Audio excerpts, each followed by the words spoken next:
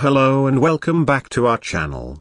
I'm Danish, and you are watching Iraqi Dinar YouTube channel. Hopefully you all will be fine let's start today. The dollarization of Iraq has garnered significant attention, especially with new reports highlighting the country's ongoing efforts to reduce its reliance on the US dollar. A recent report from the International Business and Banking Corporation, IBBC, has shed light on these measures which have been subtly underway for some time. The television broadcasts across Iraq have been abuzz with discussions about these initiatives, reflecting a broader and more comprehensive strategy aimed at stabilizing and strengthening the Iraqi dinar, this strategic shift is not only about reducing dependency on the dollar but also about fostering greater economic independence and resilience in the face of global financial fluctuations. The process of de-dollarization involves several key actions and policies primarily focused on enhancing the usage and stability of the local currency, the Iraqi dinar. According to the IBBC report, the government has been systematically implementing these policies, which include regulatory changes and financial incentives designed to encourage both businesses and individuals to prefer the dinar over the dollar in their transactions. These efforts have been complemented by a robust public education campaign, ensuring that citizens are aware of the benefits and importance of these changes.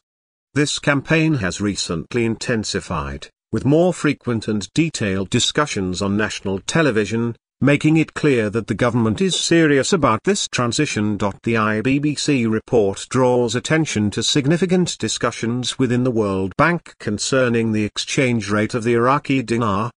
These discussions highlight potential adjustments aimed at bolstering the dinar's value against major currencies, including the dollar. This potential revaluation is seen as a critical step in the broader monetary reform efforts. It reflects a coordinated approach involving both domestic policy adjustments and international financial strategies.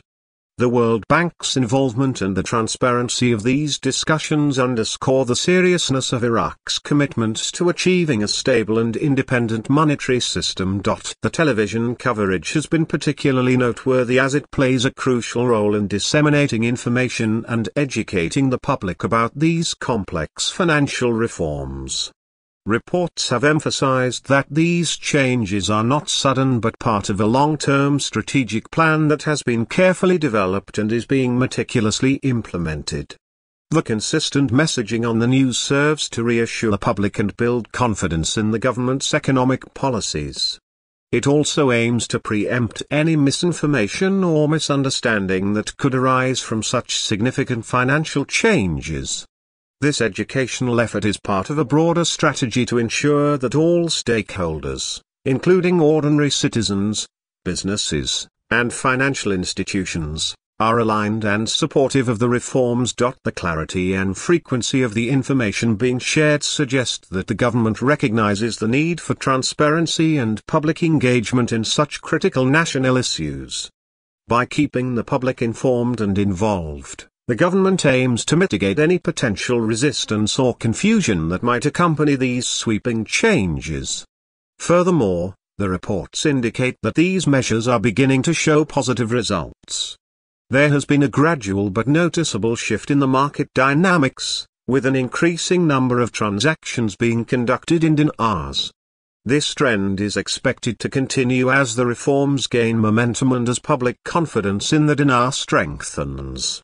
The educational campaigns are likely to play a pivotal role in sustaining this momentum by continuously reinforcing the benefits of using the local currency and the overall goals of the monetary reforms. The recent emphasis on de-dollarization in Iraq, as reported by the IBBC and highlighted in national news broadcasts, represents a significant and strategic move towards economic stability and independence.